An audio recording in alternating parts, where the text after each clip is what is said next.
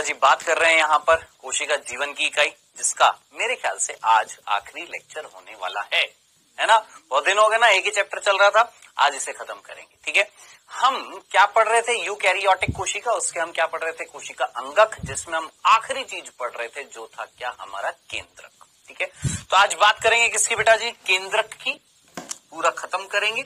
उसके अलावा एक और चीज़ पढ़ेंगे, सूक्ष्म का वो भी पढ़ेंगे, ठीक है? और लास्ट में लेकर आऊँगा क्या? क्विज ठीक है? चले आगे। आइए बेटा जी, यहाँ पर बात कर रहे हैं किसकी? हम यूकैरियोटिक कोशिका। यूकैरियोटिक कोशिका आज एक बार और आखिरी बार देख लो, है ना? यूकैरियोटिक कोशिका, हमने प्लाज्मा झिल्ली देख ली, हमने कोशिका भित्ति देख ली, हमने कोशिका अंगकों में अंत द्रव्य जालिका हमने यहाँ पर देखा राइबोसोम, हमने देखी गोल गोलजिकाए हमने देखा बेटा जी यहाँ पर लाइसोसोम हमने देखे यहाँ पर रसधानी, हमने देखे यहाँ पर माइटोकॉन्ड्रिया उसके बाद लवक, उसके बाद हमने कोशिका कंकाल, फिर उसके बाद हमने देखा था क्या पक्षमाभ और कशाभिका, फिर उसके बाद हमने देखा तारक काय और फिर हम देख रहे थे क्या केंद्रक। ठीक है? क्या देख रहे हैं? केंद्रक देख रहे हैं। जिसमें मैंने मामूली सी सिंपल सी चीज़ें आपको पिछले लेक्चर में बताई थी। ठीक है? क्या बताया था? एक बार फटाफट ध्यान से सुनना। मैंने बोला था, क्या केंद्रक की खोज किसने करी है? आपको अच्छे तरीके से पता है कौन? Robert brown. रॉबर्ट ब्राउन ने क्या करी थी? 1831 में खोज करी थी। ये मैंने आपको बता दिया था। और कहा करी थी? ये भी बता दिया था। ऑर्चिड पादप की जड़ों की कोशिका में केंद्र की खोज करी थी। दूसरा मैंने एक और वैज्ञानिक बताया था, कौन? एसिटा कौन? एसिटा। बुलेरिया। कौन बेटा जी? एसिटा बुलेरिया। वैज्ञानिक नहीं है एसिटा बुलेरिया। एसिटा बुलेरिया एक जीव है, जिस पर एक वैज्ञानिक ने कार्य किया था, जिसका नाम था हैमरलिंग। क्या नाम था? हैमरलिंग। और उन्होंने इस हरी शैवाल याद रखना। मैंने आपको पिछले लेक्चर में भी बताया था, ये एकल कोशिकीय हरी शैवाल है। इस पर कार्य किया था और कार्य करने के बाद ये बताया क्या, एक कोशिका का, एक कोशिका का निर्देशक कौन होता है, केंद्रक होता है। एक कोशिका के सभी कार्यों को कौन नियंत्रित करता है, केंद्रक नियंत्रित करता है, ये मैंने आपको बता दिया था। फिर आपने पूछा, सर, केंद्रक में कौन होता है जो नियंत्रित करता है? तो अब हम बात करने वाले केंद्र की संरचना की, ठीक है? लेकिन उससे पहले कुछ चीज़ें और हैं। वो बतानी ज़रूरी है, ध्यान से सुनना। यहाँ पर एसिटा बुलेरिया पर कार्य किया था किसने? हेमरलिंग ने, और क्या बताया था? केंद्रक केंद्रक कोशिका का कोशिका का निर्देशक होता है। कोशिका का निर्देशक होता है। ठीक है? ये चीज़ बताई थी किसने बेटा जी आपके? हैमरलिंग ने किस पर कार्य करके? एसिटा बुलेरिया बताएँ, ये सिंपल सी चीज़ समझ में आ गई है। चले, ये मैंने आपको पिछले लेक्चर में भी बताया था, एक बार रिवाइज करा दिया अब नेक्स्ट चीज़ जो है, जो हमें केंद्रक में पढ़नी है, ध्यान से सुनना। संरचना देखने से पहले एक और बिंदु, तीसरा बिंदु एक तरीके से हम बोलेंगे, क्योंकि पहले दो ये बिंदु थे। तीसरा बिंदु, ध्यान से सुनना। ये जो केंद्रक जो होता है क्या हर कोशिका में होता है? सोचो क्या प्रत्येक कोशिका में केंद्रक मिलता है? क्या? दिमाग लगाएँ क्या हर कोशिका में केंद्रक मिलता है? नहीं। हाँ। कुछ कोशिकाएँ ऐसी होती है जो अकेंद्रकीय होती है। अकेंद्रकीय। अकेंद्रकीय मतलब जिनमें केंद्रक नहीं होगा। अकेंद्रकीय कोशिका। अकेंद्रकीय कोशिका का मतलब जिनमें केंद्रक नहीं होएगा। अब कौन सी वो कोशिकाएँ जिनमें केंद्रक नहीं होता? आप अच्छे तरीके से जानते हैं। भूल मत जाइएगा, हमारी आरबीसी जो होती है, लाल रक्त कणिका जो होती है, आरबीसी उसमें केंद्रक नहीं होता। भूलना मत, ठीक है? एक वर्ड याद रखना, चालिनी नलिका। भूल मत जाइएगा, चालिनी नलिका। आरबीसी नाम तो सुना हो ना, हमारे रक्त के अंदर एक कोशिका होती है जिसका नाम होता है आरबीसी, उसमें केंद्रक नहीं होता। चालिनी नलिका जानते हैं क्या होता है? अच्छा फ्लोयम नाम सुना फ्लोयम फ्लोयम पादपों में होता है ना, एक संवहन ऊतक होता है जो भोजन का स्थानांतरण करता है ना? तो बेटा फ्लोयम जो होता है ना, वो चार प्रकार की कोशिका से बना होता है। ध्यान से सुनना, क्या बोला? फ्लोयम जो होता है, चार प्रकार की कोशिका से बना होता है, जिसमें से एक होती है चालिनी नलिकाएँ आप बोलेंगे, बाकी तीन कौन होती है? हालाँकि उसकी अभी ज़रूरत नहीं है, लेकिन अगर आप चाहते हैं तो नाम सुन लीजिए। चालिनी नलिका सहायक कोशिका फ्लोयम मृदुतक और फ्लोयम रेशे।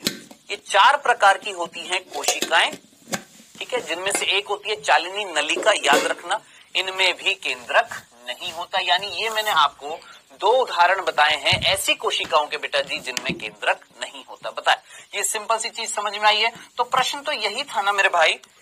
आपने प्रश्न यही पूछा, क्या सर हर कोशिका में केंद्रक मिलता है? मैंने बोला, नहीं। अपवाद स्वरूप आपने याद रखना है। कुछ ऐसी कोशिकाएँ जिनमें केंद्रक नहीं मिलता। मैंने आपको दो उदाहरण बता दिया हमारे अंदर कौन? आरबीसी और उसी प्रकार पादपों में फ्लोयम की एक कोशिका होती है, जिसका नाम होता है चालिनी नलिका। ठीक है? अब ये तीसरा बिंदु ही चल रहा है। तीसरे बिंदु का पहला भाग मतलब उदाहरण देख रहे हैं। ठीक है? अब आप पूछेंगे, सर, एक कोशिका में एक केंद्रक होता है क्या? क्या एक कोशिका में एक केंद्रक होता है क्या? तो मैं बोलूँगा कि कोशिकाओं में, ध्यान से सुनिया किसमें? एक केंद्रक तो मिलता ही है क्या एक से ज़्यादा भी मिल जाते हैं क्या? तो ध्यान से सुनना। मैक्सिमम, यानी अधिकतम कोशिकाओं में याद रखना। ज़्यादातर लिख देता हूँ।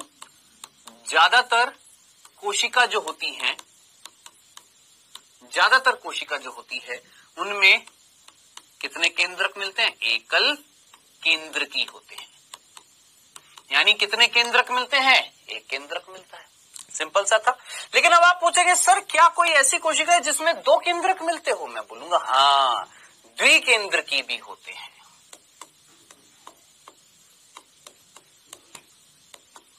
द्विकेंद्र की। देखिए, हमने क्या पढ़ा? आ केंद्र की कोशिका, यानी जिसमें कोई केंद्रक नहीं होएगा, मैंने उदाहरण बता दिए। ज़्यादातर कोशिका कैसी होती है? एकल केंद्र की। फिर हमने बात करी द्विकेंद्र की का उदाहरण बताइए। सर, द्विकेंद्र की का, द्विकेंद्र किसमें मिलते हैं? तो याद रखना बेटा जी, पैरामीशियम। पैरामीशियम जो होता है, उसमें दो केंद्रक पाए जाते हैं। कितने केंद्रक पाए जाते हैं? दो केंद्रक पाए जाते हैं, याद रखिएगा। जैसे हमने पैरामीशियम देखा था, जब मैंने आपको कशा कशाभिका और पक्षमाब पढ़ाया था तो क्या मैं उसका डायग्राम लाया था ना? याद है? तो याद रखिएगा, पैरामीशियम में कितने केंद्रक होते हैं बेटा जी? भूल मत जाना दो केंद्रक होते हैं, और पता है इसकी खासियत क्या है? ध्यान से सुनना। ये जो दो केंद्रक होते हैं, इनमें से एक होता है बड़ा। जिसे हम व्रत केंद्रक बोलते हैं। और एक होता है छोटा, जिसे हम लघु केंद्रक कहते हैं। एक होता है व्रत, यानी बड़ा, और एक होता है छोटा। यानी अगर ये मान लेते हैं, हमारा पैरामीशियम है। ठीक है? तो इस पैरामीशियम के अंदर बेटा जी, एक छोटा केंद्रक और एक बड़ा केंद्र पता इतनी सी बात समझ में आ गई। तो द्विकेंद्र की होता है। कौन मेरे भाई? पैरामीशियम ठीक है? अब फाइनल सी बात। अब देखिए, चार ही तो परिस्थिति होंगी। या तो केंद्रक होगा नहीं, और अगर होगा तो एक होगा, या दो होगा, या दो से ज़्यादा होंगे। अगर दो से भी ज़्यादा हो गए तो उस परिस्थिति को हम क्या बोलेंगे? बहु केंद्र की। ठीक है? तो अब आप पूछेंगे, सर, बहु केंद्र की का मतलब? सीधी सी बात है, बहु केंद्र की मतलब ऐसी कोशिका जिसमें बहुत सारे केंद्र होंगे। तो आप पूछेंगे, सर, उदाहरण बताओ। बेटा, जरा देखना ये क्या है? ये ये क्या है? आप बोलेंगे, सर, ये तो मांसपेशी है यहाँ पर। बिल्कुल है बिल्कुल है। यहाँ पर क्या है? मांसपेशी है। बेटा, मेरी मांसपेशियाँ किससे बनी हुई हैं? कोशिकाओं से। है ना? किससे बनी हुई है? कोशिकाओं से तो याद रखना। ये जो मांसपेशी है ध्यान से देखना ये जो मांसपेशी है क्या ये मेरी इच्छा के अनुसार सिकुड़ रही है फैल रही है क्या? सोचिए ये मांसपेशी मेरी इच्छा के अनुसार हो रही है? तो क्या ऐसी मांसपेशी को मैं ऐच्छिक बोलूँगा कि अनैच्छिक बोलूँगा? आप बोलेंगे सर ऐच्छिक बोलेंगे है ना? बेटा ये मांसपेशी ना मेरी हड्डियों से जुड़ी हुई है। किससे जुड़ी हुई है? हड्डियों से। यहाँ पर हड्डियाँ हैं इनसे जुड़ी हुई है।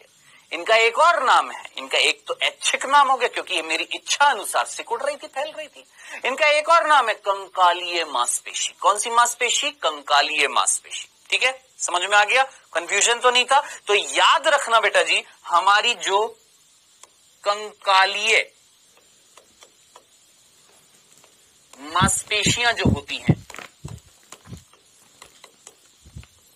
उनकी जो कोशिका होती है कौन बच्चों? पूरा वर्ड देखो क्या लिखा हुआ है? कंकालीय मांसपेशी कोशिका। यानी हमारे कंकाल से जुड़ी हुई जो मांसपेशियाँ होती हैं, उनकी जो कोशिकाएँ होती है, ऐसी मसल्स की जो सेल होती हैं, ऐसी कंकाल से जुड़ी हुई, हमारी हड्डियों से जुड़ी हुई मांसपेशियों की जो कोशिकाएँ होती हैं, उनमें बहुत सारे क्या मिलते हैं, केंद्रक मिलते हैं। भूल मत जाइएगा। बताएँ, क्या ये सिंपल सी बातें समझ में आई हैं? कंफ्यूजन तो नहीं था। चलें आगे। ये बेटा, जी सिंपल सी बात मेरे को आपको बतानी थी। बताएँ, यहाँ तक कोई कंफ्यूजन तो नहीं है? एक बार रिवाइज कर दूँ, क्या क्या बताया? आइएगा, देखिएगा। देखिए, अभी तक मैंने आपको क्या बताया? रॉबर्ट ब्राउन ने खोजा 1831 में। बता दिया कहाँ से खोजा? एसिटा बुलेरिया पर कार्य किया था किसने? हैमरलिंग ने। और क्या बताया कि केंद्रक जो होता है वो कोशिका का निर्देशक होता है, एक केंद्रक होता है जो कोशिका के सारे कार्यों को निर्धारित करता है। ये हमने देखा, ठीक है? फिर उसके बाद मैंने आपको बताया, फिर उसके बाद मैंने आपको बताया कि कुछ ऐसी कोशिकाएँ होती हैं जिनमें केंद्रक होता ही नहीं है, जैसे ये। कुछ ऐसी कोशिकाएँ होती है जिसमें दो केंद्रक होती है, जैसे पैरामिशियम। कुछ ऐसी जिसमें बहुत सारी होती है, जैसी हमारी हमारी कंकालीय मांसपेशियों की जो कोशिका होती है। ठीक है? और ज़्यादातर कोशिकाएँ कैसी होती हैं आपकी? एकल केंद्र की। बताएँ, क्या ये सिंपल सी बात समझ में आ गई है? चले आगे। कंफ्यूजन तो नहीं था। अब हम देखने वाले हैं बेटा जी। कितने बिंदु हो गए? तीन हो गए ना? अब चौथा बिंदु हम देखेंगे क्या? संरचना। यानी स्ट्रक्चर किसकी भैया? केंद्रक की। आइए देखते हैं जल्दी से। देखिए। केंद्रक जो होता है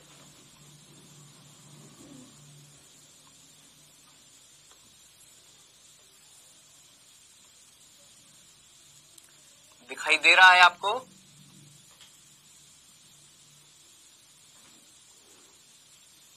क्या आपको केंद्रक दिख रहा है? आप बोलेंगे हाँ सर, दिख रहा है। हाँ बेटा, यही केंद्रक है, ऐसा ही होता है। इसी प्रकार से होता है कौन? केंद्रक। अब जरा सोचिए, सिंपल सी चीज़ समझ में आ जानी चाहिए। क्या आपको केंद्रक के कितने आवरण दिखाई दे रहे हैं? सोचिए, माइटोकॉन्ड्रिया जो था, उसमें कितने आवरण थे? दोहरा आवरण था। लवक में दोहरा था। और केंद्रक में भी कैसा होता है? दोहरा आवरण होता है, याद रखना। ये बाह्य आवरण और ये अंत आवरण। ठीक है? ठीक है? समझ में आ गया? अब इन दोनों इन दोनों भारी और अंत्य जो आवरण है, वो कुछ कुछ जगह पर एक दूसरे से जुड़ जाते हैं। जब ये आपस में जुड़ जाते हैं देखिए जुड़ गए तो उसकी वजह से एक छेद पैदा हो गया। इस छेद को हम बोलते हैं केंद्रक। छिद्र। क्या नाम दिया है? केंद्रक छिद्र। ठीक है? बताएँ, क्या ये पहली संरचना में, ध्यान से सुनना अगर मैं आपसे सीधा सीधा बोलूँ कि बेटा हम देखने वाले केंद्र की संरचना, केंद्र की संरचना अगर हम देखते हैं तो आपसे सीधा सीधा बोलूँ कि बेटा हम देखने वाले केंद्र की संरचना, केंद्र की संरचना अगर हम देखते हैं तो चार भाग मिलते हैं। चार चीज़ें हम पढ़ते हैं, किसमें? केंद्र में। क्या क्या ध्यान से सुनना। सबसे पहली चीज़ हम देखते हैं क्या? केंद्रक आवरण। जिसको हम केंद्रक झिल्ली भी बोल देते हैं। आप बोलेंगे, सर, हमारी बुक में तो केंद्रक झिल्ली लिखा हुआ है। बेटा, केंद्रक आवरण, केंद्रक झिल्ली एक ही चीज़ है, ठीक है? दूसरा हम देखते हैं केंद्रक द्रव्य। क्या देखते हैं? केंद्रक द्रव्य, यानी अंदर जो तरल, जो लिक्विड जो भरा पड़ा है, उसे हम क्या बोलते हैं? केंद्रक द्रव्य। सिंपल? चल। तीसरा, ध्यान से सुनना। अब इस केंद्रक द्रव्य के अंदर एक संरचना मिल रही है। एक संरचना मिल रही है। एक भी हो सकती है, एक से ज़्यादा भी हो सकती है ये। इसका नाम है केंद्रिका। केंद्रिका। ठीक है? सिंपल सा था। और फाइनली द मोस्ट इंपॉर्टेंट चीज़ कि भैया इस द्रव्य के अंदर कुछ जाल सा मिल रहा है। एक जाल मिल रहा है कुछ धागों का। कुछ इस तरीके से धागे मिल रहे हैं और ये धागे ऐसे फैले हुए हैं। इस तरीके से फैले हुए हैं ये धागे और ये जो धागे जो हैं, ये क्या बना रहे हैं बच्चों? एक जाल सा बना रहे हैं। किसके अंदर? केंद्रक द्रव्य के अंदर। और इस जाल को हम बोलते हैं क्रोमेटिन। याद रखना। क्या नाम देते हैं बच्चों? क्रोमेटिन। ठीक है? तो ये चार चीज़ें हम पढ़ते हैं। जी, चार चीज़ें पढ़ेंगे, खत्म हमारा केंद्र बस। आइए, फटाफट देखते हैं। सबसे पहली चीज़, हमने क्या देखा? केंद्रक आवरण, ये हमने देख लिया, पता है आपको? पता है आपको? हमने देख लिया केंद्रक आवरण। जरा सोचिए, मुझे जल्दी से बताएँ। हमने केंद्रक आवरण में, केंद्रक आवरण में, जल्दी से मुझे बताएँ, क्या देखा? फटाफट फटाफट। केंद्रक आवरण।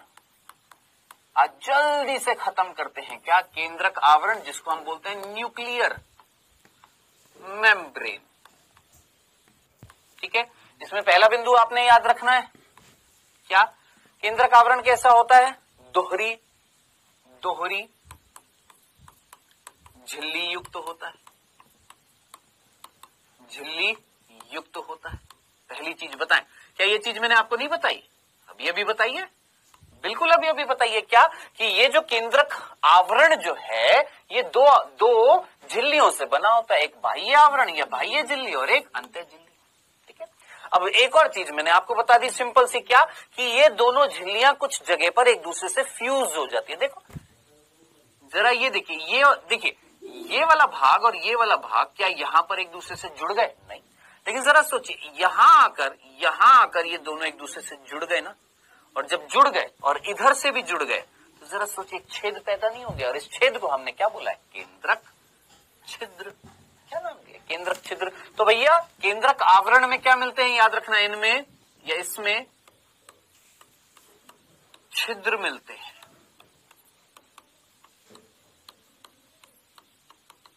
क्या मिलते हैं बेटा जी? छिद्र मिलते हैं। और जिनको हमने क्या नाम दिया है? केंद्रक छिद्र नाम दिया है, याद रखना। क्या नाम दिया बच्चों? केंद्रक छिद्र नाम दिया। अब आप बोलेंगे, सर, इन छिद्रों का फ़ायदा क्या है? इनसे क्या होएगा? भाई, छेदों से तो किसी चीज़ का आदान प्रदान होता है। क्या यहाँ से कोई आदान प्रदान होएगा? बेटा, जरा दिमाग लगाए ये मैं आपको ना पहले बता चुका हूँ। क्या? कि ये ना केंद्रिका, ये केंद्रिका, ये जो ये लिखी हमने, कौन दिखाई है ये केंद्रिका? जानते हैं? ये केंद्रिका किसकी फैक्ट्री है? बताया था, याद करिए। केंद्रिका किसकी फैक्ट्री है? तो ये राइबोसोम की फैक्ट्री होती है। भूल मत जाना। राइबोसोम की क्या है? फैक्ट्री यानी ये केंद्रिका, वो जगह है जहाँ पर उत्पन्न होंगे राइबोसोम। भूल मत जाना। केंद्रिका जो है, वो किसको उत्पन्न कर रही है, किसका निर्माण कर रही है, किसका संश्लेषण कर रही है, किसको बना रही है? याद रखना, किसको? राइबोसोम को बनाती है। अब आप मुझे बताएँ, इसने राइबोसोम बनाया? बनाया। अब आप मुझे बताएँगे, ये जो बाहर वाला आवरण जो है, क्या इस बाहर वाले आवरण से कोई कोशिकांग जुड़ा हुआ था, दिमाग लगाएँ। याद करिए, कोई कोशिकांग था जो जुड़ा हुआ था? था? क्या नाम था? अंत द्रव्य जाली का एंडोप्लाज्मिक रेटिकुलम अब याद करिए दो प्रकार के थे खुरदरा और एक चिकना। खुरदरे का मतलब क्या था? एक ऐसा अंत द्रव्य जाली का, जिससे आप जोड़ेंगे। क्या जोड़ेंगे भैया? राइबोसोम। बालक, जरा जल्दी से सोच समझ कर मुझे बताएँ, ये राइबोसोम बने कहा? बने? अंदर बने। लेकिन कहा जाकर लग रहे हैं? सर, बाहर जाकर लग रहे हैं। तो बाहर कैसे जाएँगे? किसी छेद से जाएँगे? साहब, ये छेद का नाम क्या है? केंद्रक छिद्र तो केंद्रक छिद्र का कार्य क्या था? जरा दिमाग लगाएँ। केंद्रक के अंदर जो द्रव्य है, उसका नाम है केंद्रक द्रव्य। है ना? और केंद्रक के बाहर जो द्रव्य होएगा, वो क्या होएगा? कोशिका द्रव्य। ये बहुत बेसिक सी चीज़ है। केंद्रक के अंदर जो द्रव्य है, केंद्रक द्रव्य, और केंद्र के बाहर जो द्रव्य है, कोशिका द्रव्य। है ना? अब आप मुझे बताएँ, केंद्रक द्रव्य और बाहर की कोशिका द्रव्य के बीच में बीच में पदार्थों के आदान प्रदान कराने के लिए जिम्मेदार कौन? केंद्रक छिद्र। कि भैया कोशिका द्रव्य से कोई चीज़ अंदर लानी है, या केंद्रक द्रव्य से कोई चीज़ बाहर ले जानी है, कौन उत्तरदायी है केंद्रक छिद्र। तो याद रखना इनमें छिद्र मिलते हैं जो क्या करते हैं बेटा जी? कोशिका द्रव्य कोशिका द्रव्य और केंद्रक द्रव्य। कोशिका द्रव्य और केंद्रक द्रव्य के बीच में पदार्थों के आदान प्रदान। पदार्थों के आदान प्रदान के लिए उत्तरदायी होते हैं किसके बीच में? कोशिका द्रव्य और केंद्रक द्रव्य के बीच में अगर पदार्थों का आदान प्रदान करना है, राइबोसोम को अंदर लाए, प्रोटीन को अंदर लाए, ऐसी चीज़ों के बीच में आदान प्रदान कराने के लिए कौन उत्तरदायी होता है? ये छिद्र होते हैं, खत्म। बस इतना ही याद रखना है, इससे ज़्यादा कुछ नहीं, इससे ज़्यादा कुछ नहीं मेरे भाई, बस इतना ही याद रखना है किसमें केंद्र का आवरण में ठीक है, आइए दूसरा पढ़ते हैं क्या? केंद्रक द्रव्य। आइए। दूसरा है बेटा जी हमारा, केंद्रक द्रव्य। अब केंद्रक द्रव्य जो होता है, जिसको हम बोलते हैं न्यूक्लियोप्लाज्म, और सिंपल तरीके से याद रखना है, ये क्या होता है? ये एक पारदर्शी पारदर्शी का मतलब तो समझ में था जैसे पानी होता है ना पारदर्शी, ऐसे ये भी एक पारदर्शी। और मैं बोलूँगा घना घना मतलब थोड़ा सा चिपचिपा टाइप का जो होता है, घना द्रव्य होता है है। जिसमें क्या मिलता है याद रखना? इसमें क्या मिलता है? ध्यान से सुनना। DNA RNA protein. एंजाइम। खनिज। आदि। अब खनिज मतलब जैसे फॉस्फेट।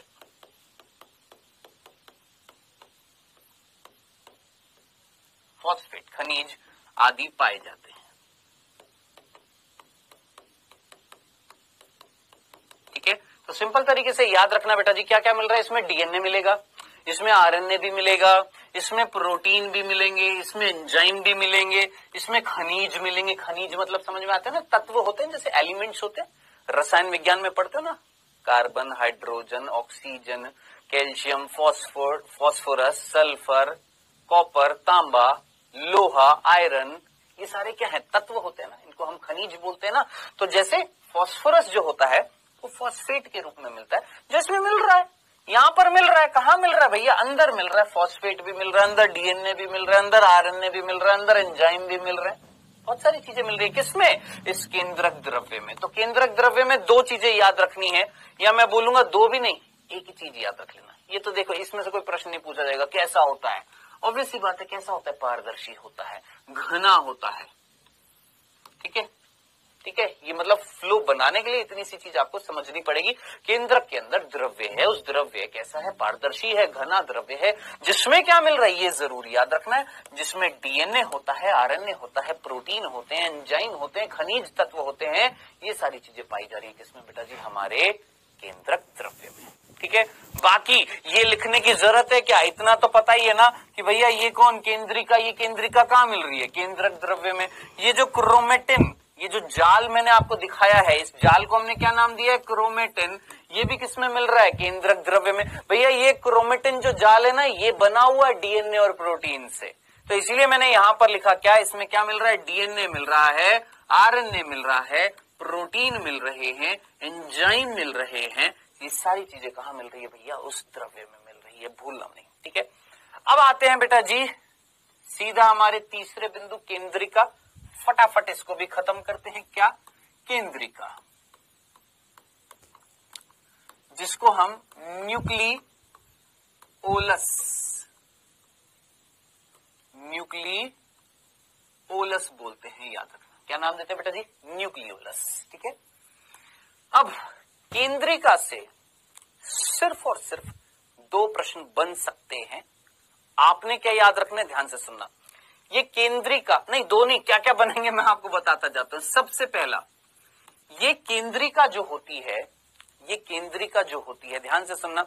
ये हालाँकि मैंने आपको बताया हुआ है, लेकिन मैं एक बार फिर से वापस से बता देता हूँ ताकि और अच्छे से समझ में आ जाए। देखिए मैं एक उदाहरण से इसकी तुलना करके, देखिए याद करिए मैंने आपको बताया था ना याद करिए कब बताया था? भूले तो नहीं है। एक है ना, उदाहरण से तुलना करके मैं आपको बताता हूँ, ध्यान से सुनना। मैंने बोला, बेटा, मेरी एक है दुकान, किसकी? कंप्यूटर की दुकान। याद आ गया? कंप्यूटर की दुकान। ठीक है? इस दुकान के अंदर रखा हुआ है सीपीयू, मॉनिटर कीबोर्ड और माउस बहुत सारे रखे हुए हैं ये। रखे हुए? उसी प्रकार केंद्रिका है। मान लेते हैं, ये कौन है? केंद्रिका। ध्यान से सुनना। ये कौन है बेटा? केंद्रिका। ठीक है?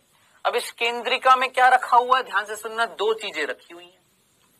एक आरआरएनए और प्रोटीन। रखे हुए भरे पड़े हैं इसके अंदर। किसके अंदर भरे पड़े हैं, या मैं बोलूँगा केंद्रिका किससे बनी हुई है? तो पहला बिंदु आप सीधा सीधा याद रखना। ये आरआरएनए और प्रोटीन से बने होते हैं। बताएँ, इतनी सी बात समझ में आ गई किससे बने होते हैं? आरआरएनए और प्रोटीन से बने होते हैं, ठीक है? अब मैंने आपसे बोला कि भैया मेरी कंप्यूटर की दुकान है, हमने इसकी तुलना करी किससे? केंद्रिका से। कंप्यूटर की दुकान में सामान रखा था, केंद्रिका में ये दो सामान रखा हुआ है, ठीक है? अब मेरी कंप्यूटर की दुकान है, कोई ग्राहक आया, उसने मेरे से कहा कि भैया, मुझे एक कंप्यूटर बना कर दो। क्या बना कर दो? कंप्यूटर बना कर दो। तो मैं क्या करूँगा, इन सारी चीज़ों को जोड़कर, एक कंप्यूटर बनाऊँगा कि नहीं बनाऊँगा, है ना? इनको जोड़कर बनाऊँगा ना?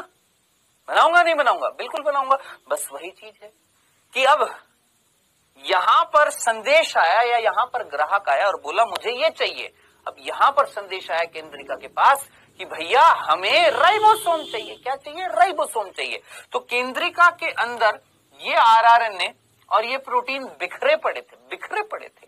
ठीक है? अब मैसेज आया केंद्रिका के पास कि, भैया, राइबोसोम चाहिए। तो केंद्रिका ने क्या किया? इस आरआरएनए और इस प्रोटीन को जोड़कर, जैसे इन पदार्थों को, सीपीयू मॉनिटर, कीबोर्ड और माउस को जोड़कर क्या बनाया था? कंप्यूटर बनाया था। अब जरा सोचिए, क्या कंप्यूटर अकेला मॉनिटर से बना होता है क्या? अकेला सीपीयू से बना होता है? अकेले माउस, एक कंप्यूटर होता है क्या? नहीं ना। उसी प्रकार, अकेला आरआरएनए, राइबोसोम होगा क्या? या अकेला प्रोटीन, राइबोसोम होगा क्या? नहीं। हमें इन दोनों को जोड़कर जोड़कर क्या बनाना है? राइबोसोम। तो ना, कई बच्चों को कंफ्यूजन होता है। क्या कंफ्यूजन होता है वो सोचते हैं, सर, राइबोसोम आरआरएनए और प्रोटीन से बना हुआ है। और केंद्रिका भी आरआरएनए और प्रोटीन से बनी होती होता है ना? होता है ना? कि, सर, राइबोसोम जो है, वो तो आरआरएनए और प्रोटीन से बना होता है। सर, केंद्रिका भी आरआरएनए और प्रोटीन से बनी होती है तो दोनों में डिफरेंस क्या है? तो बेटा, जरा सोच समझ कर मुझे बताइएगा, एक सिंपल सी बात सोचिएगा। आरआरएनए और प्रोटीन से बना हुआ है केंद्रिका, लेकिन वो आरआरएनए और प्रोटीन जुड़े हुए नहीं है। समझ में आया? जुड़े हुए नहीं है। उसी प्रकार कि कंप्यूटर की दुकान में कंप्यूटर नहीं रखे हुए हैं। कंप्यूटर का सामान रखा हुआ है। जब ज़रूरत होगी, तब इन सामान को जोड़कर बनाया जाएगा कंप्यूटर। उसी प्रकार यहाँ पर आरआरएन और प्रोटीन रखा हुआ है। जुड़ा हुआ नहीं था। जब होएगी रिक्वायरमेंट राइबोसोम की तो इन दोनों को जोड़कर क्या बनाया जाएगा? राइबोसोम बनाया जाएगा। तो बेटा, जरा जल्दी से सोच समझ कर मुझे बताएँ। पहला बिंदु समझ में आ गया। केंद्रिका का क्या? किससे बना हुआ है? इन दोनों से मिलकर बना हुआ है। या ये दोनों रखे हुए हैं किसमें? हमारी केंद्रिका में। ठीक है? दूसरा बिंदु बेटा जी, याद रखना है आपने। दूसरा, ये हटा दू यहाँ से, समझ में आ गया ना ये वाली चीज़? कंप्यूटर की दुकान वाला उदाहरण, भूलना मत ज़िंदगी भर, ठीक है? अब दूसरी चीज़ ध्यान से सुनिएगा बेटा जी, यहाँ पर फटाफट, क्या ये केंद्रिका को मैं राइबोसोम की फैक्ट्री बोल सकता हूँ या नहीं बोल सकता? जरा जल्दी से सोचिए अभी अभी मैंने आपको बताया था। क्या बोलूँगा इसको? राइबोसोम की फैक्ट्री। राइबोसोम की फैक्ट्री। राइबोसोम की फैक्ट्री बोला जाता है किसको? केंद्रिका क्या बना रही है मेरे भाई? राइबोसोम बना रही है तो क्या बोलेंगे? राइबोसोम की फैक्ट्री खत्म। बताएँ, इतनी सी बात समझ में आ गई, चलें आगे। अब नेक्स्ट, आखिरी बिंदु। ये दो बिंदु है बेटा जी। ये पहला, केंद्रिका का, ये दूसरा, केंद्रिका का।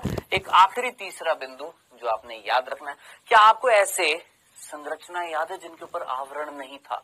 भूले तो नहीं है, जरा जल्दी से सोच समझ कर मुझे बताएँ। ऐसी संरचनाएँ याद हैं जिन पर आवरण नहीं था, याद करिए। आप बोलेंगे, सर, राइबोसोम, मैं बोलूँगा हाँ जी। आप बोलेंगे, सर, तारक केंद्र, में बोलूँगा हाँ जी। या तारक का है हाँ जी। है ना? दोनों एक ही चीज़ थी, तारक केंद्र मिलकर तारक का बना दो चीज़ हो गई। सर सूक्ष्म तंतु सूक्ष्म नलिका यानी कोशिका कंकाल। मैं बोलूँगा हाँ जी। और आखिरी, चौथी संरचना, याद रखना ये केंद्रिका, याद रखना ये आवरण हीन होती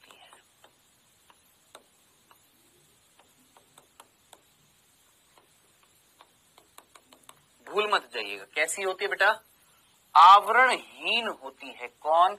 आपकी केंद्रिका। ठीक है? ये सामान्य से तीन बिंदु थे किसके? केंद्रिका के। सिंपल से तीन बिंदु थे किसके? केंद्रिका के। बताएँ, क्या ये केंद्रिका के तीन बिंदु समझ में आगे भूलेंगे तो नहीं? क्या कर रही है? राइबोसोम का निर्माण कर रही है। किससे बनी हुई है? आरआरएन और प्रोटीन से बनी होती है। थोड़ा सा स्त्रीलिंग आता है इसमें ना। किससे बनी होती है? केंद्रिका। आरआरएनए और प्रोटीन से बनी होती है कौन? केंद्रिका। क्या कर रही है? राइबोसोम बना रही है, इसलिए राइबोसोम की फैक्ट्री आवरणहीन, खत्म, खल्लास। इतनी सी बात। बस, इतना सा याद रखना। अब आप मुझे बताएँ केंद्रक की संरचना में हमने केंद्रक आवरण देख लिया, केंद्रक द्रव्य देख लिया, केंद्रिका देख ली। अब सबसे इंपॉर्टेंट चीज़ है क्रोमेटिन। क्या पढ़ने वाले हैं? क्रोमेटिन देखने वाले हैं। किसकी बात करने वाले बच्चों? यहाँ पर हम क्रोमेटिन की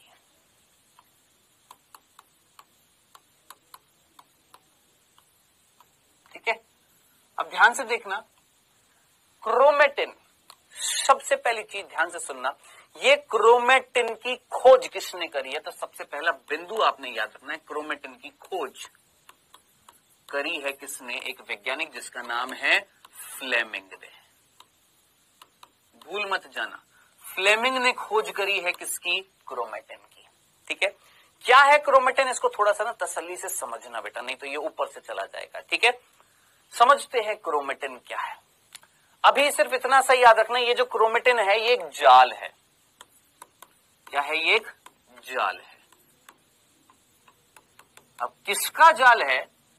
आइए एक बार दिखाता हूँ कैसा है ये जाल। देखिए जरा यहाँ पर। ये है बेटा जी, यहाँ पर ये जाल दिख रहा है आपको। ये केंद्रक है, उस केंद्रक के अंदर ये जाल है। दिख रहा है ना, न्यूक्लियर मेम्ब्रेन यानी केंद्रक का आवरण, जिसके अंदर ये जाल सा नहीं दिख रहा आपको। कुछ रेशों का, कुछ धागों का। अभी अभी मैंने यही तो बताया था, क्रोमेटिन क्या होता है? जाल होता है। क्या होता है? जाल होता है। किसका अभी बताऊँगा, लेकिन एक फील लेना फील लेना उसको। क्या? कि क्रोमेटिन जाल है किसके अंदर? केंद्रक के अंदर होता है। अच्छा लगा? ठीक है? आएगा, सब समझ में आएगा, ठीक है? अब देखिए, ये जाल है चलो जी, समझ में आ गया। किसका जाल है, अभी बताऊँगा, लेकिन इतना भी याद रखना, ये जाल जब सिकुड़ता है ना, ध्यान से सुनना। अभी ये मत पूछना, सर, किसका है? मैं बताऊँगा, तसल्ली रखना, लेकिन एक चीज़ एक्स्ट्रा बता रहा हूँ उससे पहले ही, कि ये क्रोमेटिन ये क्रोमेटिन ये जो जाल जो होता है, ये जाल संघनित तो होता है।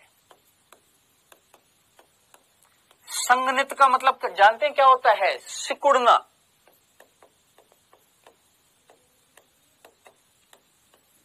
सिकुड़ना संगनित का मतलब होता है सिकुड़ना कंडेंसेशन बोलते हैं इंग्लिश में। तो संगनित का मतलब होता है क्या? सिकुड़ना, छोटा हो जाना, ठीक है? ये जाल जो होता है, ये संगनित होता है और संगनित होकर बनाता है, याद रखना, निर्माण करता है। जिनको पता है वेल्डन जिनको नहीं पता है, याद रखना, ये निर्माण करता है किसका? गुण सूत्र का, जिसको हम बोलते हैं क्रोमोजोम क्या नाम देते हैं? क्रोमोजोम देखना चाहेंगे कैसे? देखिए, ये मैंने आपको जाल दिखाया। कौन सा बेटा जी? क्रोमेटिन था। मैंने क्या बोला? ये जाल क्या है? धागों से बना हुआ धागे हैं, रेशे हैं अंदर। फाइबर है, ठीक है? ये धागे ना सिकुड़ते हैं। और सिकुड़ कर क्या बनाते हैं? देखिएगा जरा यहाँ पर। ये देखिए, पूरा देखना, आराम से देखना। क्रोमेटिन था, सिकुड़ कर ये बना दिया। जल्दी जल्दी हो रहा है, इसलिए थोड़ा सा जल्दी जल्दी देखिए। एक जाल दिखेगा जो सिकुड़कर बना रहा है क्रोमोजोम। क्रोमेटिन सिकुड़कर क्रोमोजोम बनाया। क्रोमेटिन सिकुड़कर क्रोमोजोम बनाया। फिर से देखो, क्रोमेटिन सिकुड़कर क्रोमोजोम बनाया। यानी क्रोमेटिन जाल था जो सिकुड़कर क्या बना रहा है? क्रोमोजोम, यानी गुणसूत्र बनाता है। और अच्छे तरीके से दिखाऊँ? और देखो बेटा। जरा देखिएगा, ये क्या दिख रहा है? मैं बहुत सारे डायग्राम है मेरे पास, बशर्ते आप थोड़ी सी इंटरेस्ट लेकर मेहनत कर कर पढ़े। तो ये क्रोमेटिन है। आप बोलेंगे, सर क्रोमेटिन थोड़ा, ये तो चौमिन है। चौमिन क्या होती है, जरा सोचिए। एक एक प्लेट में मैंने चौमिन रख दी। धागे है ना चौमिन धागे होते हैं ना? अगर वो चौमिन फैल जाए तो हम बोलेंगे ना, एक जाल होता है। क्रोमेटिन क्या, एक धागों का जाल है जो एक थाली में फैल गया है। बस उसी तरीके से केंद्रक के अंदर जाल मिल रहा है। चौमिन का जाल नहीं मिल रहा, क्रोमेटिन मिल रहा है। अब ये जाल किससे बना हुआ है? मैं बोल रहा हूँ, बताऊँगा बताऊँगा बताऊँगा, लेकिन अभी सिर्फ़ इतना सा। ये जो क्रोमेटिन है ना, ये क्रोमेटिन, ये संगनित होकर बनाता है ऐसी संरचना। ये है बेटा जी आपका क्या? गुण सूत्र क्रोमोजोम आए, पढ़े, किसकी बात करने वाले हैं? क्रोमेटिन की बात करते आइए, ध्यान से सुनिएगा बेटा। जो चीज़ मैं बताने वाला हूँ, उसको समझना। देखिएगा। क्या आप अपनी कोशिका को देख सकते हैं? आज जो मैं चीज़ें बताने वाला हूँ, उसको गौर से सुनना। क्या आप अपनी हाथ की कोशिका को देख सकते हैं आँखों से? आप बोलेंगे नहीं। क्या उस कोशिका के अंदर जो केंद्रक है, उसको देख सकते हैं आँखों से? आप बोलेंगे, सर, कैसी बातें कर रहे जब कोशिका नहीं दिख रही तो उसका केंद्रक कैसे दिखेगा? उस केंद्र के अंदर जानते हैं क्या होता है? उस केंद्र के अंदर होता है डीएनए। क्या होता है? डीएनए। उस केंद्रक में। जिसको मैं अपनी आँखों से नहीं देख पा रहा। क्यों? क्योंकि कोशिका ही नहीं दिख रही तो केंद्र कैसे दिखेगा? बहुत सूक्ष्म होता है। है ना? वो डीएनए जो होता है ना, मेरी एक त्वचा की कोशिका के केंद्रक में डीएनए, जानते हैं कितना लंबा होता है? जानते हैं? तो याद रखना ये डीएनए की लंबाई जो होती है, ये लगभग होती है 2.2 मीटर, या इसको हम सीधा दो मीटर भी बोल या तो दो मीटर या 2.2 मीटर एनसीआरटी के हिसाब से चलेंगे तो दो मीटर याद रख लेना। एग्जैक्ट कितनी होती है? 2.2 मीटर होती है, ठीक है? जानते हैं एक मीटर कितना? ये देखो, ये मेरी उंगली है, यहाँ याद रख लेना। एग्जैक्ट कितनी होती है? 2.2 मीटर होती है, ठीक है? जानते हैं एक मीटर कितना? ये देखो, ये मेरी उंगली है, यहाँ से लेकर यहाँ तक। वन मीटर एक मीटर एक और मीटर यानी ये जो पूरा बोर्ड है, ये लगभग दो मीटर का है है ना? थोड़ा सा छोटा होगा दो मीटर से, लेकिन कहने वाली बात है, इतना लंबा धागा, इतना लंबा धागा, और डीएनए जो होता है वो द्विरज्जु की होता है, दो धागों से बना होता है। याद रखना, डीएनए ऐसा होता है। ठीक है, द्विरज्जु, रज्जु का मतलब होता है, क्या बेटा, एक लड़ी जो होती है, एक रेशा, एक धागा जो ये एक धागा, ये एक धागा, एक धागे को हमने बोला एक रेशा, या रज्जु, ये भी रज्जु दो रज्जु से बना हुआ है कौन? डीएनए अब आप मुझे बताएँ, इतना लंबा डीएनए कितना लंबा? 2.2 मीटर लंबा डीएनए कहाँ पर है? कहाँ पर है? मेरे इतना लंबा, सोचो, इतना लंबा डीएनए मेरी कोशिका के केंद्रक में है। कोशिका को मैं देख नहीं पा रहा। केंद्रक वैसे नहीं दिखेगा। उसके अंदर इतना लंबा डीएनए कैसे डाल दिया? कैसे डाल दिया? आएगा ना? मन में प्रश्न बनेगा ना? एक और चीज़ मैं आपको बताता हूँ, ध्यान से सुनना मेरी एक कोशिका में इतना लंबा डीएनए बेटा, एक कोशिका में। मेरे अंदर, आपके अंदर अरबों खरबों बरबो जाने क्या क्या कितनी कोशिकाएँ होंगी।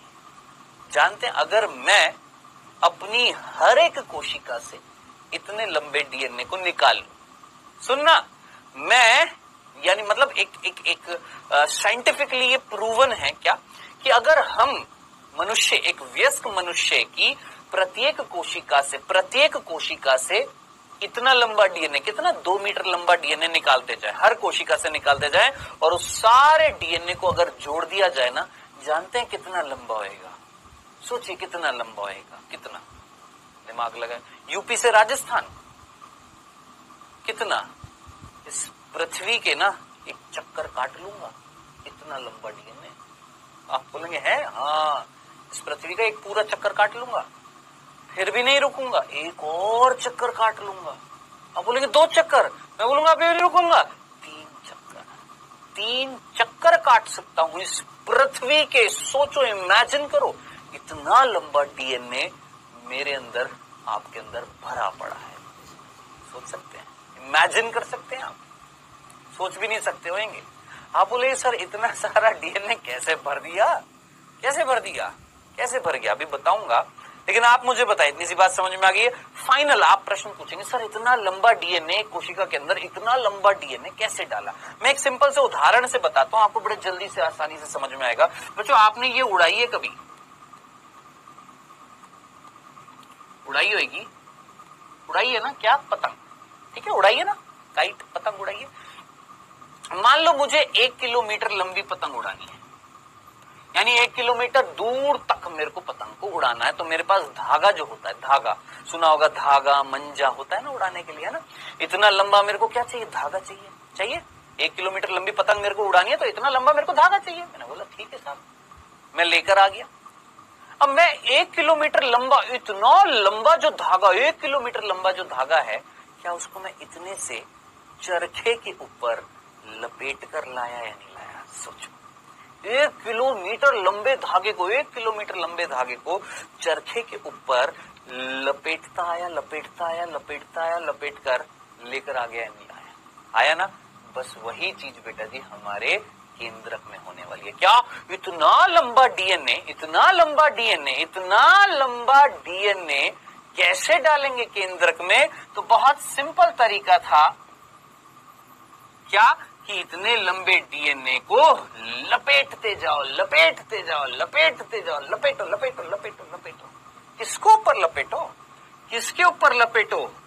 तो याद रखना एक प्रोटीन होता है, जिसका नाम होता है हिस्टोन प्रोटीन।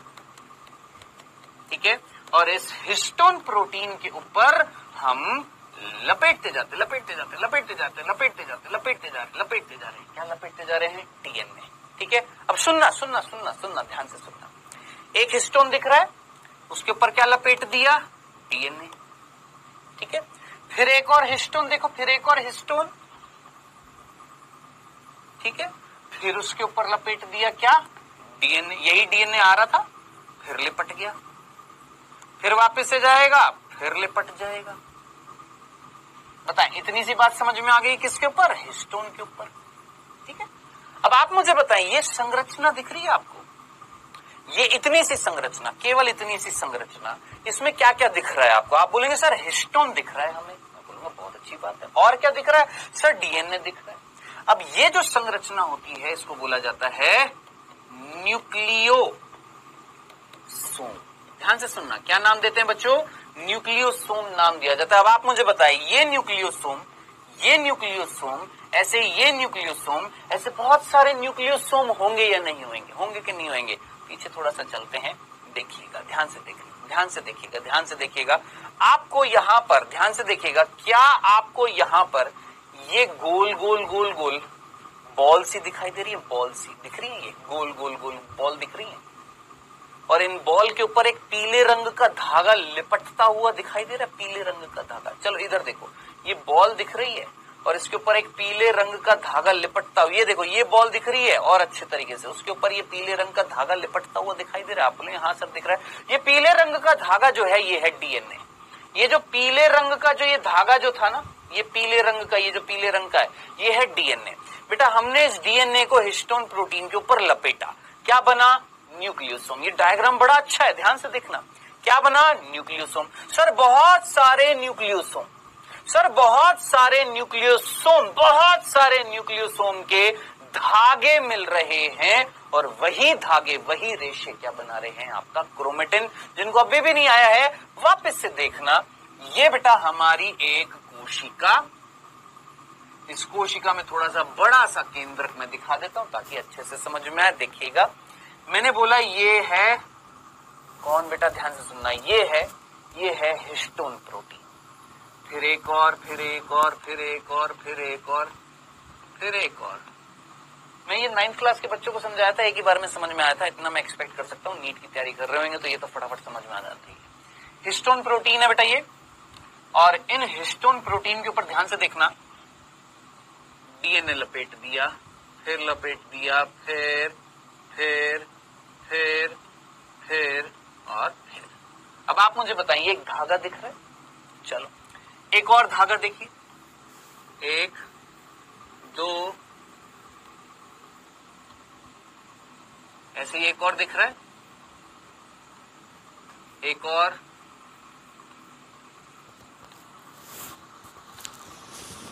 ऐसे ही एक और।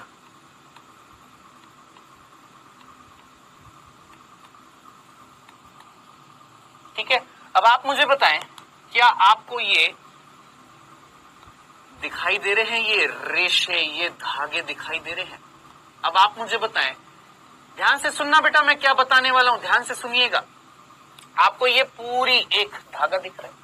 अब ये धागा किससे बना हुआ था? हमने बोला, सर, ये है डीएनए, अंदर है हिस्टोन और इतने से भाग को हमने बोला, न्यूक्लियोसोम, एक और एक और एक और एक और एक और एक और एक और कई सारे न्यूक्लियोसोम की एक लड़ी मिल रही है। मिल रही है? एक रेशा बन रहा है, दिख रहा है आपको? बेटा जी, इस पूरे संरचना को, ध्यान से सुनना, इस पूरी संरचना को बोलते हैं क्रोमेटेड। ध्यान से सुनना, क्या नाम देते हैं? क्रोमेटिड। ये भी क्या है? क्रोमेटिड है। ये भी क्या है? क्रोमेटेड है। ये भी क्या है? क्रोमेटेड है। ध्यान से सुनना, ये सारे क्या है? क्रोमेटेड हैं। क्या है बच्चों? क्रोमेटेड हैं। तो अब आप मुझे बताएँ, क्रोमेटेड किससे बने हुए जल्दी से सोचो, क्रोमेटेड किससे बना हुआ क्रोमेटिन, क्रोमेटेड क्या है? क्रोमेटिन नहीं क्रोमेटिन नहीं, क्रोमेटेड क्या है? धागे हैं। या मैं बोलूँगा, क्रोमेटेड क्या है? एक लंबी सी, एक लड़ी है, एक एक रेशा है जो किससे बना हुआ है? आप बोलेंगे, सर, न्यूक्लियोसोम से बना हुआ है। ये न्यूक्लियोसोम ये न्यूक्लियोसोम ये न्यूक्लियोसोम ये न्यूक्लियोसोम ये न्यूक्लियोसोम ये न्यूक्लियोसोम ये न्यूक्लियोसोम। कई सारे न्यूक्लियोसोम से मिलकर एक लड़ी सी बनी थी, एक रेशा सा बना है, जिसको हमने बोला है क्रोमेटेड। ऐसे एक और क्रोमेटेड, ऐसे ऐसे बहुत सारे क्रोमेटेड केंद्र के अंदर हैं और मिलकर क्या बना रहे हैं? एक जाल बना रहे हैं और ये जाल जो है ना, इसी जाल को हम बोलते हैं क्रोमेटिन फाइनल सी बात मुझे बताएँ क्रोमेटिन क्रोमेटिन मेरे भाई, जल्दी से सुनना। ये जो क्रोमेटिन है, ये जाल है। किसका है? क्रोमेटिन का। वापस उल्टा कर कर बता रहा हूँ। क्रोमेटिन क्रोमेटिन क्या है? ध्यान से देखना। क्रोमेटिन क्या है? जाल है। ये जाल किसका है? हमने बोला, सर, ये जाल है क्रोमेटिड का।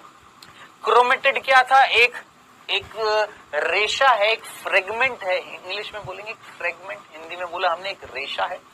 जो किससे बना हुआ था? सर, न्यूक्लियोसोम से बना हुआ बहुत सारे बहुत सारे न्यूक्लियोसोम सर, न्यूक्लियोसोम किससे बने हुए हैं? बीच में हिस्टोन उसके चारों तरफ़ लिपटा हुआ है, डीएनए। तो डीएनए और हिस्टोन से बना न्यूक्लियोसोम। इतना सा भाग है न्यूक्लियोसोम, याद रखना। एक और न्यूक्लियोसोम, और और और और। ऐसे कई सारे न्यूक्लियोसोम ने मिलकर एक लड़ी सी बना दी, जिसको हमने बोला क्रोमेटेड। ऐसे एक और एक और एक और। ऐसे बहुत सारे क्रोमेटेड हैं किसके अंदर, हमारे केंद्रक में, और वही जाल क्या कहला रहा है आपका? क्रोमेटिन। खत्म। इतनी सी बात। समझ में आ गई? अब हमने बोला ध्यान से सुनना। ये जो क्रोमेटिन जो होता है, ध्यान से सुनना, ये जो क्रोमेटिन मैंने आपको दिखाया है, ये क्रोमेटिन जो होता है, ये जाल होता है। आपने पूछा, किसका मैंने आपको बता दिया है? किसका? क्रोमेटिड का। क्रोमेटिड किससे बना हुआ न्यूक्लियोसोम से। न्यूक्लियोसोम किससे बना हुआ है? डीएनए लिपटा हुआ है किसके ऊपर? हिस्टोन प्रोटीन के ऊपर। समझ में आ गया? तो इतना लंबा डीएनए कैसे डाला? लपेटा किसके ऊपर हिस्टोन ठीक है? अब हमने बोला ये जाल संघनित होकर निर्माण करता है गुणसूत्र का, यानी ये जो क्रोमेटिन, ये जो जाल जो दिख रहा है आपको, ये इस तरीके से संघनित होकर क्या बना देगा? गुणसूत्र बना देगा, ठीक है? ये क्रोमेटिन संघनित होगा और क्या बना देगा? छोटे होते जाएँगे और क्या बना देंगे? गुणसूत्र बनाएगा। आइएगा देखते हैं यहाँ पर। दिख रहे हैं आपको? दिख रहे हैं आपको? अब देखना मैं क्या बताने वाला हूँ, ध्यान से सुनना। ये बेटा एक क्रोमेटेड था ये भी क्या है क्रोमेटेड है? ध्यान से देखना क्या होने वाला है। जल्दी से देखना बस लास्ट चीज़ है यहाँ पर। ये क्रोमेटेड था, ये क्रोमेटेड है, दो क्रोमेटेड आपको दिख रहे हैं। केंद्रक के अंदर ध्यान से देखना। ये मान लेते हैं क्या था बेटा जी हमारा? ये क्रोमेटेड है। एक और क्रोमेटेड में दो क्रोमेटेड दिखा रहा हूँ, ऐसे। 92 क्रोमेटेड होते हैं हमारे अंदर।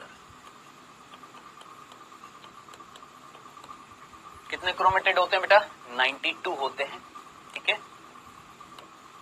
समझ में आ गया? अब, कितने बोले मैंने 92 कुछ रीजन है उसका, ध्यान से देखना। ये क्रोमेटेड अब अंदर क्या है वो मैं आपको बता चुका हूँ कि बार बार बनाने से बेहतर है, एक बार में समझ लें तो ज़्यादा बेहतर है। क्या है बेटा जी, अंदर न्यूक्लियोसोम है या हिस्टोन प्रोटीन है, जिसके ऊपर कौन लिपटा हुआ है भैया? डीएनए।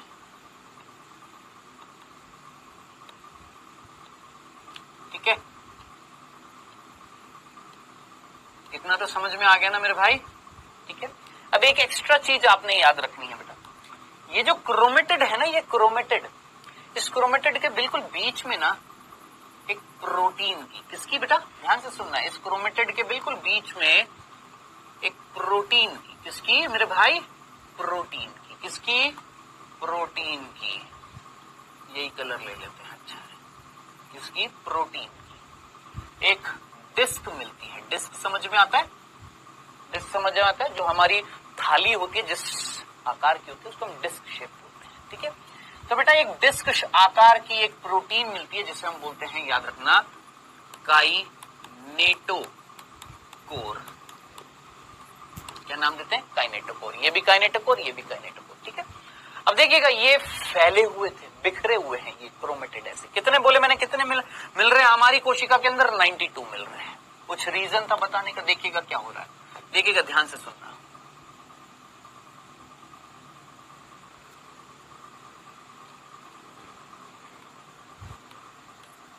देखिएगा बच्चों, यहाँ पर क्या होता हुआ दिखाई दे रहा है आपको। आप बोलेंगे, सर, ये क्रोमेटेड और ये क्रोमेटेड एक दूसरे से जुड़ गए हैं, सर। मैंने बोला हाँ जी, क्या हो गए हैं? जुड़ गए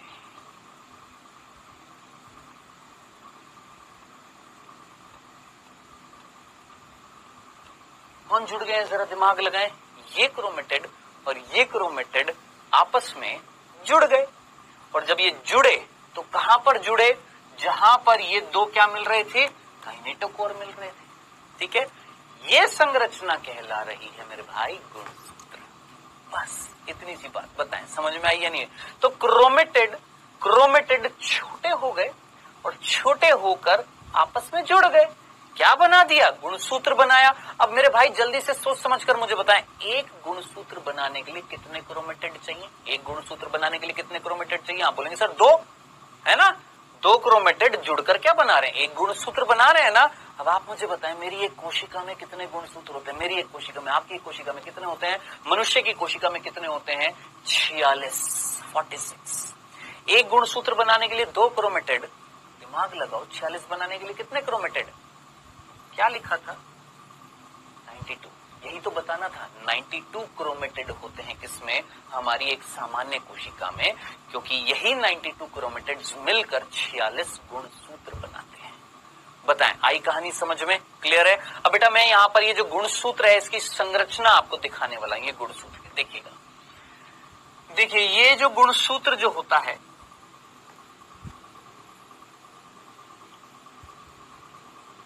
इस गुणसूत्र में क्या मिल रहा था?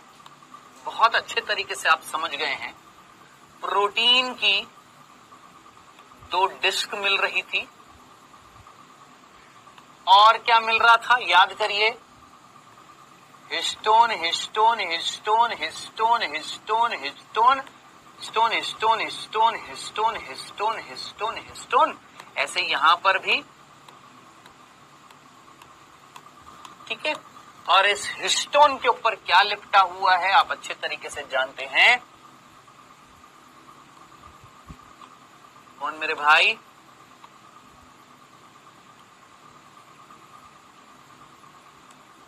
ये डीएनए। ठीक है।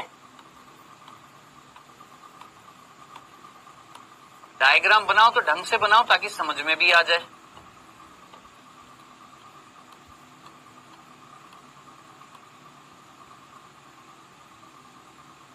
ठीक है? समझ में आ गया? ये है गुणसूत्र। अब आपने जो चीज़ याद रखनी है वो ये, जहाँ पर, ध्यान से सुनना, जहाँ पर ये दो, कौन है बेटा जी आपके? काइनेटोकोर है। ये जो जगह है, ध्यान से सुनना, ये जगह जो है ना, ये क्षेत्र जो है, इसको बोला जाता है गुण सूत्र बिंदु।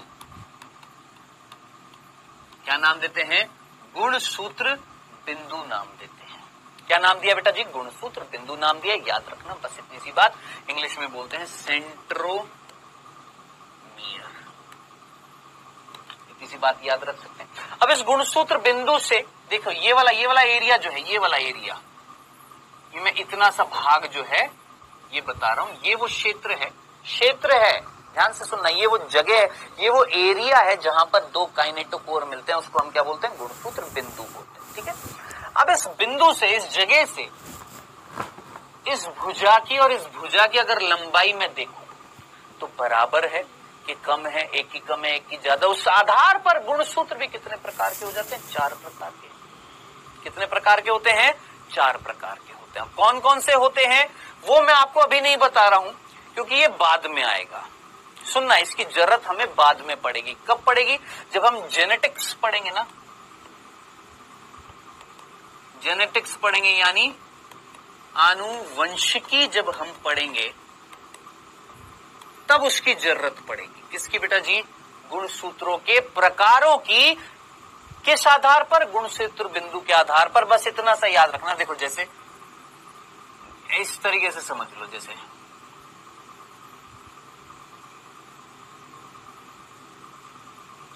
ये एक गुण सूत्र है।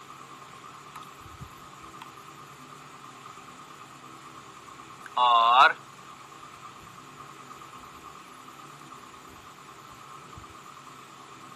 ये दूसरा है।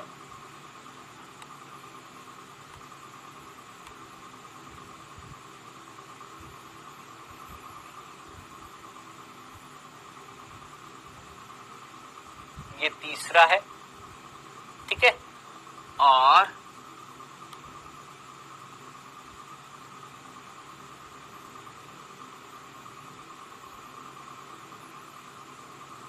ये चौथा है। अब आप जरा सोचिए, इस गुण सूत्र की तुलना अगर मैं इससे करूँ तो अंतर दिखाई दे।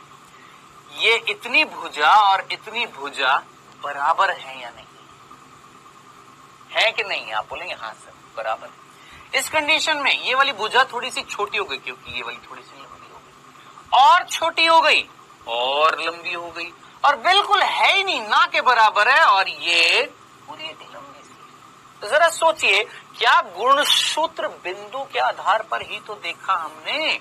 गुणसूत्र बिंदु क्या था? वो जगह जहाँ पर, वो जगह जहाँ पर काइनेटो काइनेटोकोर मिल रहे हैं मेरे भाई। उसको हम क्या बोलते हैं? गुणसूत्र बिंदु।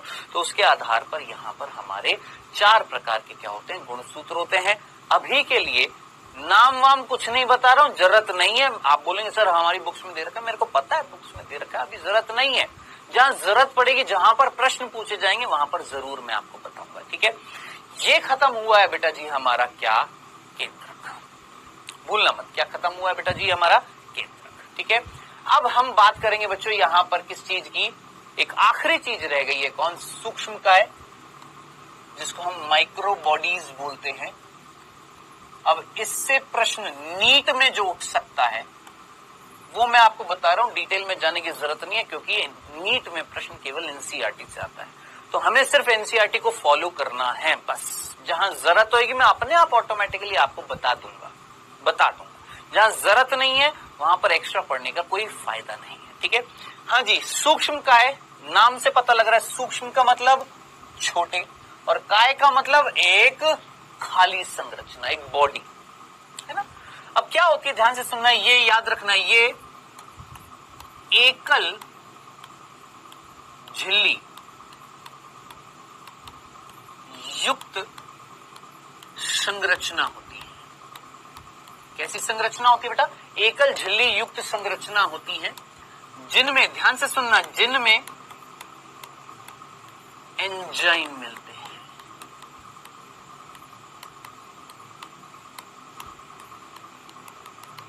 क्या मिलते हैं बच्चों? एंजाइम मिलते हैं। क्या इतनी सी बात समझ में आ जाएगी? क्या? कि ये कुछ ऐसी, देखो, ये एक कोशिका है, मान लो। मान लो ये एक कोशिका है।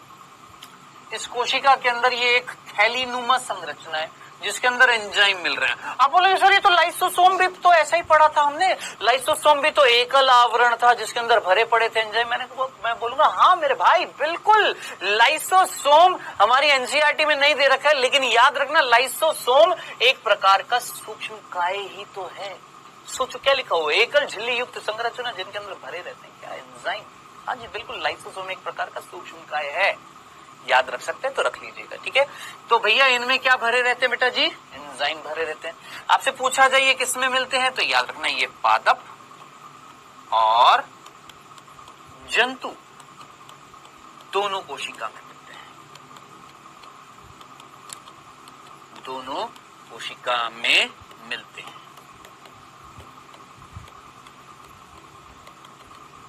दोनों में मिलते हैं, ठीक है? बस। मैं श्योरिटी के साथ कह रहा हूँ, इससे ज़्यादा प्रश्न नहीं पूछा जाएगा। बस इतना सा, ठीक है? एक और चीज़ और बता देता एक चीज़ और बताता हूँ, याद आ गया मेरे को। एक तो ये, क्या होती है सूक्ष्म का है? एकल झिल्ली युक्त संरचना है, जिनमें भरे पड़े हैं क्या? एंजाइम, ये किसमें मिलते हैं? दोनों पादप और जंतु कोशिका में मिलते हैं। बेटा जी, ये मुख्य रूप से ना आप याद रखेंगे, तीन प्रकार के होते हैं। कौन? ये सूक्ष्म काय जो होते हैं, मुख्य रूप से तीन प्रकार के होते हैं।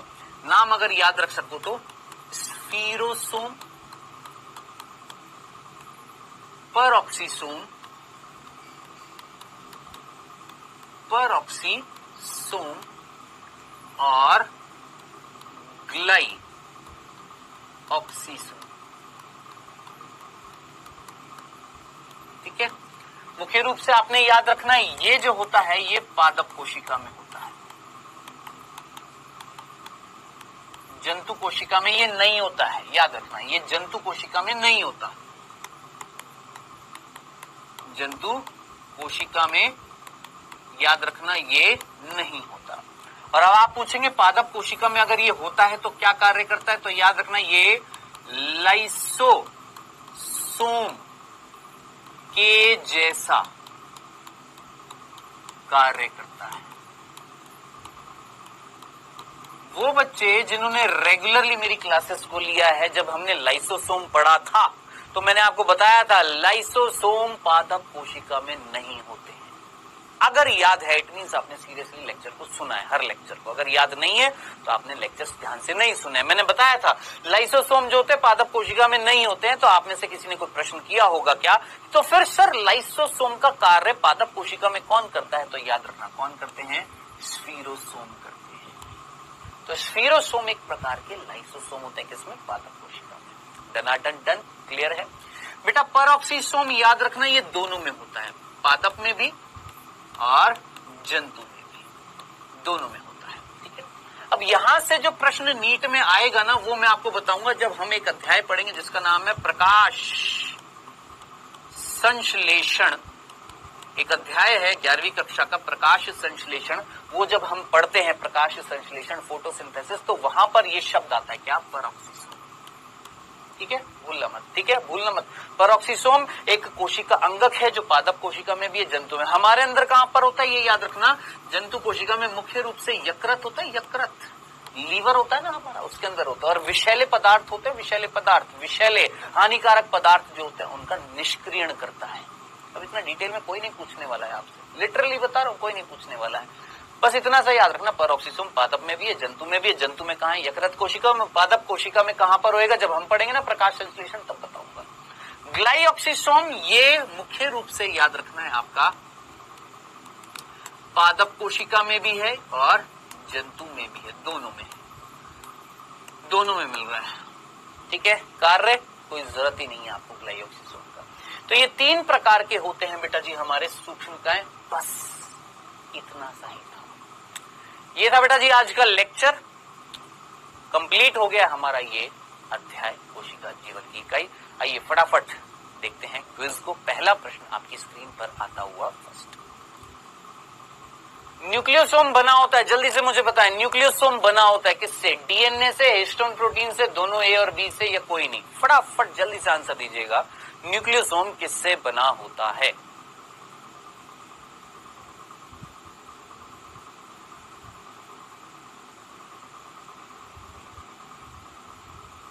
दूसरा प्रश्न बच्चों, उपरोक्त में से कौन जीवों में अनुवांशिक पदार्थ है? अनुवांशिक पदार्थ कौन है?